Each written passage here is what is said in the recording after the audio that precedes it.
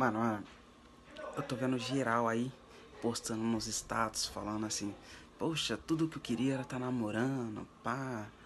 Velho, pensa bem. É melhor você estar tá solteiro do que mal acompanhado. Pensa aí. Tchau, obrigado. Bagunçado, e o seu cheiro no meu